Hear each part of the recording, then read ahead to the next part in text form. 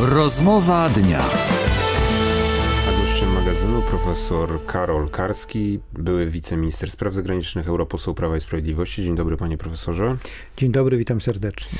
Panie profesorze, Łukaszenka, dyktator Białorusi, mówi, że Prigozina nie ma już na terytorium tego kraju. Daje pan wiarę? Czy trudno powiedzieć, czy Prigorzyn y, kiedykolwiek znajdował się na terytorium Białorusi, tak powiedziano. Natomiast jak widać, y, przegrani w państwach rządzonych przez dyktatorów no, nie mają szans na e, przeżycie, na normalne funkcjonowanie. E, od losu samego Prigorzyna ważniejsze jest to, co stanie się z grupą Wagnera.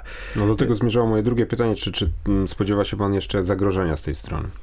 Znaczy wiemy, że grupa Wagnera, ta część, która została zachowana, e, została przeniesiona na Białoruś. I tutaj występuje pewien problem, ponieważ do czego służą właśnie takie prywatne przedsiębiorstwa wojskowej ochrony? Na całym świecie do obniżania progu wejścia w konflikt zbrojny, bez angażowania państwa. Kiedy żołnierze armii regularnej przekraczają granice obcego państwa, to jest wojna. Kiedy przekraczają tacy prywatni najemnicy, prywatni nawet cudzysłowie, e, to wówczas e, państwo mówi, że to nie jego ręka i tutaj istnieje mnóstwo scenariuszy możliwych. Oczywiście możliwe, że e, ta grupa Wagnera pod nową nazwą, przecież one często się przeprędowywują, czy pod tą samą, zaangażuje się od północy w konflikt na Ukrainie, czyli doszłoby do powrotu do, do, do, do tej fazy pierwotnej. Przypomnijmy, że Kijów leży 42 km od granicy białoruskiej.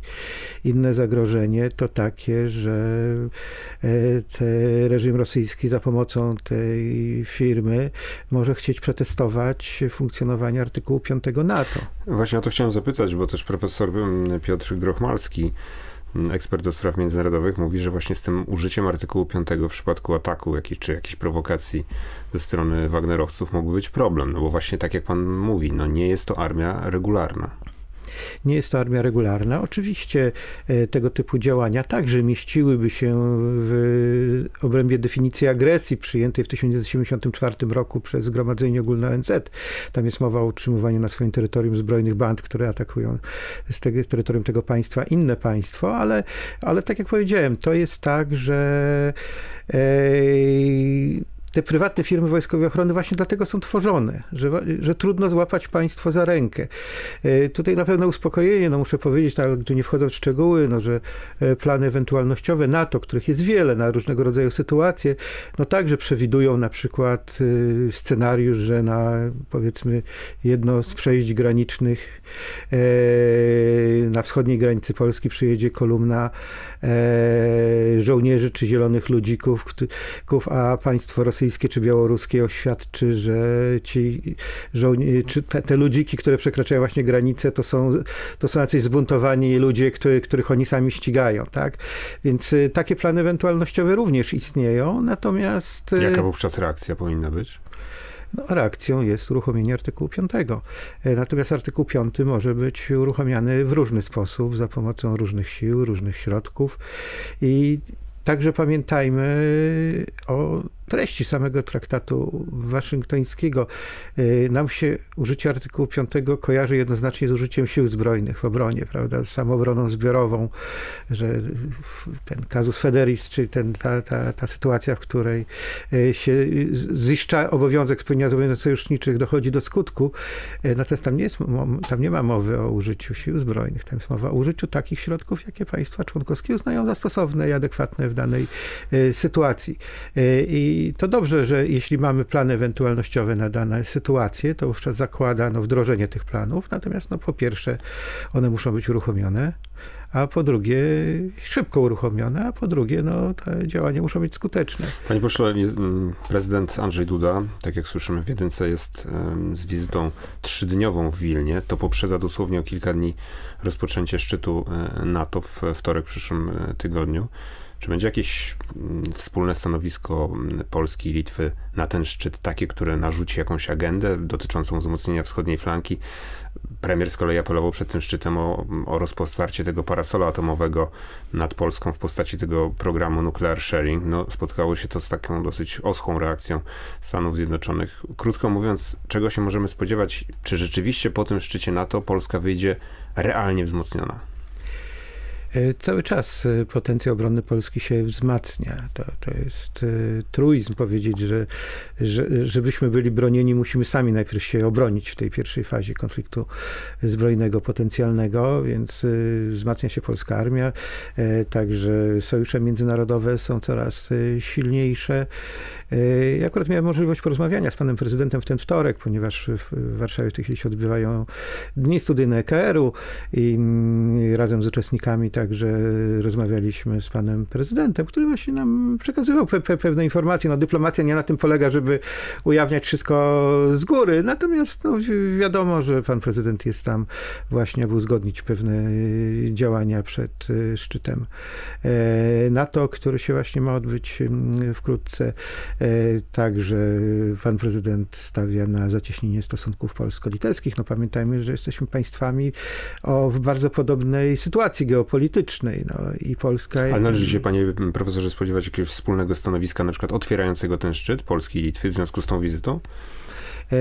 To jest jakby no, decyzja panów prezydentów i tutaj nie należy niczego uprzedzać.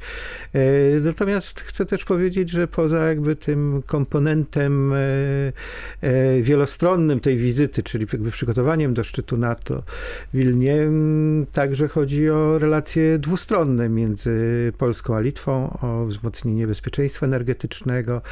Właśnie prezydent Duda opowiadał, że prezydent Nauseda obiecał, że, mu, że w końcu go zawiezie do tego terminala pływającego w Kłajpedzie, żeby pokazać, jak to mm, funkcjonuje. E, I mm, to są, to są działania jakby wpisujące się w politykę bezpieczeństwa naszego regionu. Parasol atomowy nad Polską to jest pieśń przyszłości, czy realna szansa? E, to jest realna szansa. O takich rzeczach oczywiście nie tyle się mówi, co takie rzeczy się robi.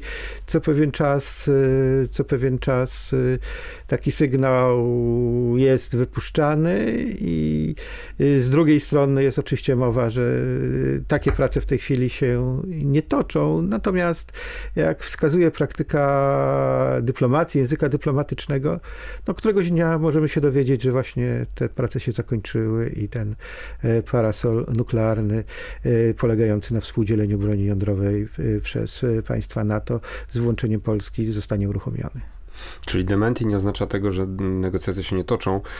Panie pośle, jeszcze zapytam pana jako par parlamentarzysta do Parlamentu Europejskiego, czy pan będzie wnioskował o jakieś wyjaśnienia komisarz do spraw wewnętrznych Unii Europejskiej Ilwy Johansson, która polskiemu dziennikarzowi mówi, że pakt migracyjny przymusowej relokacji nie jest obowiązkowy, nie będzie żadnych kar, a na Lampedusie włoskim dziennikarzom mówi, że jak najbardziej jest przymusowy i któryś, jeżeli któryś kraj się nie wywiąże z zobowiązań, to będzie płacić. No, czy taki rozdźwięk jest w ogóle dopuszczalny w przypadku tak wysokiego komisarza Unii Europejskiej? Ale w ogóle mamy do czynienia z jakąś żenującą Komisją Europejską akurat tej kadencji, poczynając od yy, przewodniczącej, no, za którą się ciągną jakieś niewyjaśnione sprawy korupcyjne z czasów, kiedy yy, była o, jeszcze ministrem obrony. Ta przewodnicząca jest wymieniona jako kandydatka na nową szefową NATO.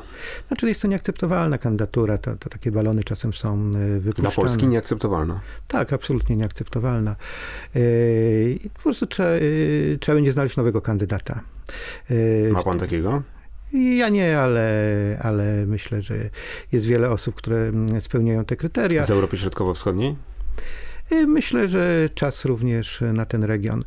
Y, I pamiętajmy o jednym, że pani von der Leyen pokazała, że y, nie potrafi pracować w grupie, nie potrafi wypracować konsensusu, stawia na rozwiązania siłowe, a stanowisko sekretarza generalnego NATO właśnie polega na wypracowywaniu konsensusu, ponieważ decyzje w NATO w przeciwieństwie do Unii Europejskiej zapadają nie większością głosów, tylko właśnie konsensusem. Tam wszystkie państwa muszą się zgodzić. I osoba, która zniszczyła Bundeswehrę, która, za którą ciągną się jeszcze nie zamknięte sprawy korupcyjne z okresu, kiedy była ministrem obrony, niewyjaśnione, która weszła jakby w nowe problemy tego typu, będąc przewodniczącą Komisji Europejskiej w zakresie dotyczącym zawierania kontraktów na szczepionki w tak czasie jak pan powiedział, rozumiem, dla Polski kandydatura do odrzucenia. Bardzo dziękuję, panie profesorze. Trzeba będzie znaleźć nową, jeśli taka jest. Po raz przedostatni ona się pojawiła 1 kwietnia na Prima Aprilis. Wszyscy uznali, że to jest dobry dowcip Prima Aprilisowy. Ale wróciła. Widać, no, czy może ma sprawny PR. Są Karol. takie osoby na świecie, które nie pretendują do żadnych stanowisk, nie mają szansy na żadne kolejne stanowiska, ale co pewien czas puszczają Karol balona, Karski, że mogłyby kimś zostać. Poseł do Parlamentu Europejskiego Prawo i Sprawiedliwość. Bardzo dziękuję. Dziękuję bardzo. Była to rozmowa dnia. Udostępnij ją portal informacyjny polskieradio.pl.